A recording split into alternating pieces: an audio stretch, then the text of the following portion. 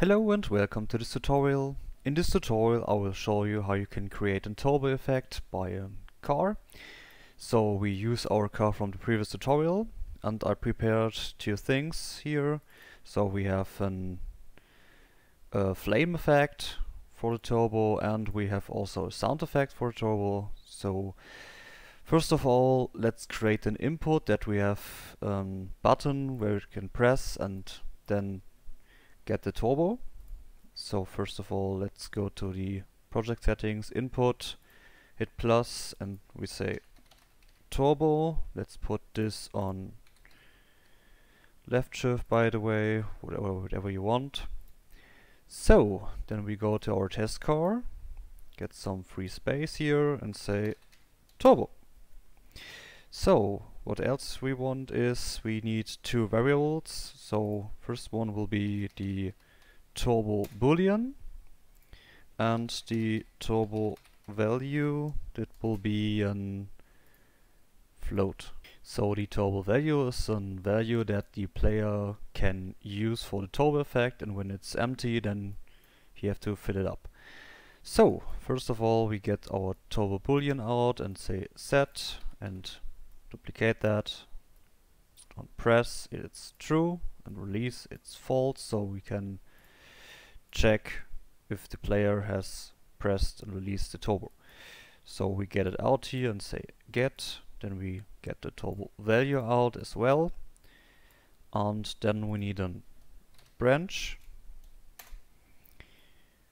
Put this into true and what we want to check is when we go here, be sure that the turbo value is 100 or whatever you want. And then we have to check float is bigger than another float. In this case, it already checks if it turbo effect is still over zero. And then we put this into the condition. So the next thing is that we have want to check if the turbo is pressed.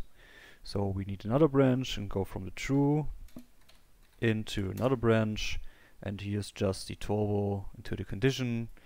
So it already checks is the turbo value over zero and is the turbo button pressed. So the next thing we need is we need our mesh. So we just pull it out here and then we say get component veloci velocity. And we go right click on the return value split structure pin. And then we need a function called add force because we and for the mesh. So add force just push the car forward when the player hit the turbo button. So on force we say right click uh, split structure pin as well put the mesh into the target and from here we go from true into force. Then we put the Z into Z. The, this one we say float multiplied with float. Copy this one, put the X as well inside here, put it into the X value, so and we say multiplied by 2 and this one also 2. So um, when the function will be activated the mesh um, get the actual velocity and multiply the x and y value with 2. So now we have to check this boolean here so this is for that the mass of the car is not affecting the force so that we can push forward, otherwise the car is too heavy. So now we take our turbo value and say set and get. And we go from the turbo value and say float minus float, leave it to 1, put it right here, so when the force is applied, every time it will um, subtract 1 from the 100 and when you repeat that then it will be go to 0 So we go from out from here and say retriggerable delay. Put this to 0.1 and from the complete we go back to our first branch. So what it does is when the player hit the turbo and just hold it, then it's still true, and it always checks if the total value is over 0, and then it applies force, um, go from the 100 and to 99 and again and again, and the retriggerable delay always put this to check if the uh, turbo button is still pressed and if the turbo value is still over 0 let's check if it works. So we go out here, hit play, in the car, take a look and we drive forward. When we press shift you can see it is much faster and when we still hit it you can see car goes forward and much more speed. Okay, so the next two things we want to add is some effects that we can see the turbo. So the first thing will be a particle system. Go for the torch fire. Call this turbo effect go to the viewport and then we take this one put it right here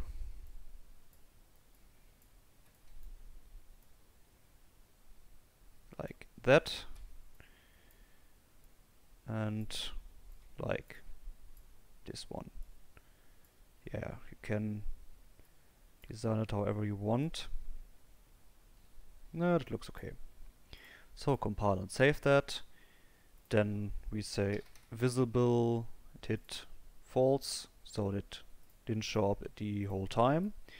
So we go to unplug the true and then we go outside, get our turbo effect, then we say set visibility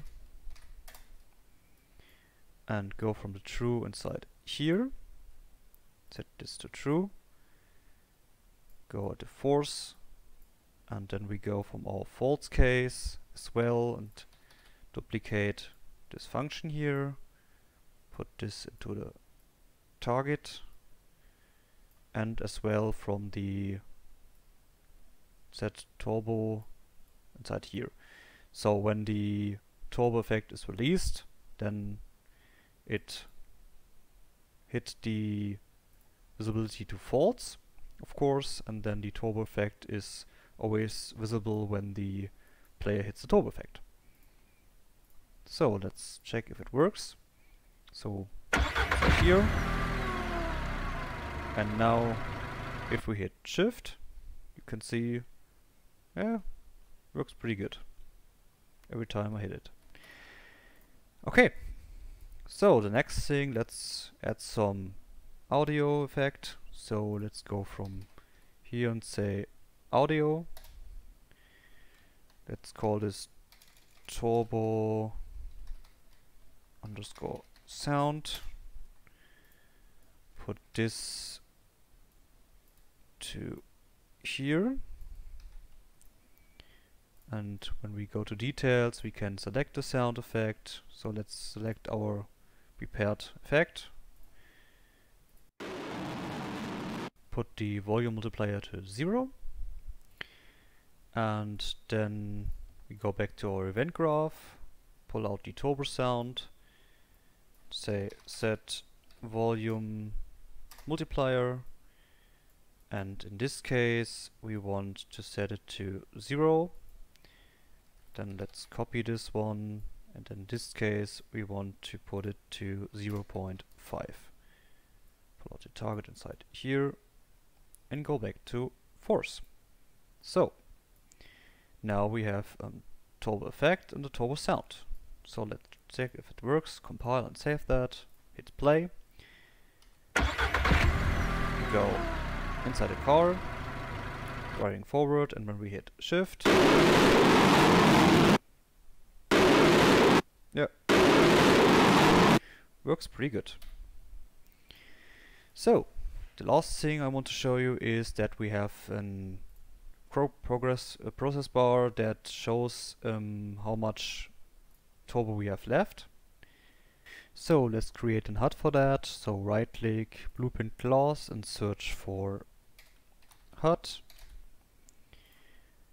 Call this turbo.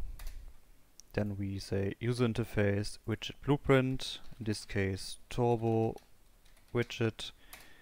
Open this up. Search for progress bar. Put it out right here like that. And when you hit the percent you can see works pretty good for this case. So let's call this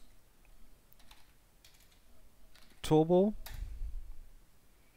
compile and save that, then we go to our turbo HUD, you can delete this one, then we say event receive draw HUD then we go from here and say get owning pawn. Go to here, cast to our test car, put this inside here. Then we say create widget, select our turbo widget.